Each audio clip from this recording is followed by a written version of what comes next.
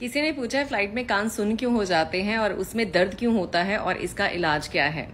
तो फ़्लाइट में जब भी हम बैठते हैं, टेक ऑफ़ और लैंडिंग के वक्त खास करके कानों में बहुत ज़्यादा दर्द होता है और हर दूसरे बंदे को, बच्चे को, बूढ़े को, हर एक को होता है।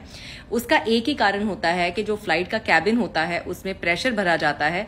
प्रेशराइज कैबिन होता है तो वो प्रेशर हमारे कानों में भी, कानों के पर्दों को अंदर की तरफ़ धकेलता है, जिसके वजह से बहुत दर्द होती है। कई लोगों के तो कानों के पर्दे, मैंने सुना है, खून भी निकलना शुरू हो जाता है। और मेरे ख्याल से उन लोगों को तो फ़्लाइट में कभी नहीं चढ़ना चाहिए, जिनको जुकाम हो, जिनको जुकाम होता है, जिनका नाक बंद होता है, उनको इससे बहुत ही ज़्यादा तकलीफ़ होती है, बहुत ही पेन का सामना करना पड़ता है मतलब चीखें निकल जाती हैं इंसान की। तो इसका हल क्या है? मैं आपको इसका हल भी बताती हूँ। कारण तो हमने समझ लिया कैबिन का प्रेशर है। इसका हल है, आप अपने साथ एक टॉफी या च्विंगम रखो। टॉफी को अगर आप चूसेंगे ना तो जैसे ही आपके कोई भी चूसने के बाद जो लिक्विड अंदर जाता है, उससे थोड़ा सा कानों के प्रेशर में राहत मिलती है। दूसरा, आप क्या कर सकते हैं च्विंगम अपने साथ रख सकते हैं। च्विंगम को आप टेक ऑफ़ और लैंडिंग के वक्त जो है, वो चबा सकते हो। और जो उससे सलाइवा है, वो जब आप अंदर लोगे तो उससे भी आपके कानों को राहत मिलेगी। तीसरा, आप क्या कर सकते हो, उबासी ले सकते हो यौन कर सकते हो। जैसे ही हम यौन करने के लिए अंदर को हवा खींचते हैं तो हमारे कानों का और हमारा जो प्रेशर है, वो थोड़ा बैलेंस में होता है, उससे कानों को थोड़ी राहत फील होती है।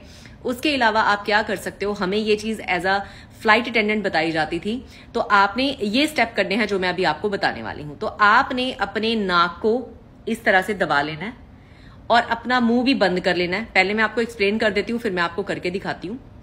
नाक को बंद कर लेना है, मुँह को भी आपने बंद कर लेना है। अफकोर्स सांस लेने के बाद। उसके बाद जो हवा आपने अंदर ली है, उसको आपने नाक के द्वारा बाहर निकालने की कोशिश करनी है। लेकिन आप इसको एक्चुअली बाहर नहीं निकाल रहे। जब मुँह और नाक बंद होगा और हवा को आप बाहर निकालने की कोशिश करोगे तो वो अपना रास्ता बना के कानों के पर्दों तक पहुँच के उधर प्रेशर क्रिएट करेगी, जिससे बाहर का और अंदर का प्रेशर जो है वो इक्वल हो जाता है और कानों को काफ़ी राहत मिलती है। अब मैं आपको करके दिखाती हूँ। तो आपने नाक पकड़ा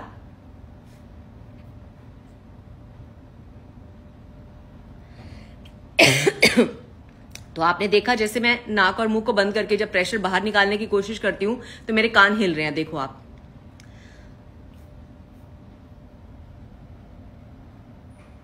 आपने ये मूवमेंट नोटिस की? तो इससे जो प्रेशर है, वो इक्वलाइज हो जाता है और लोगों को काफ़ी राहत मिलती है।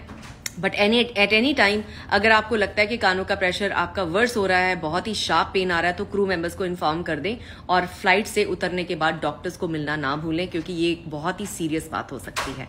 I hope this will help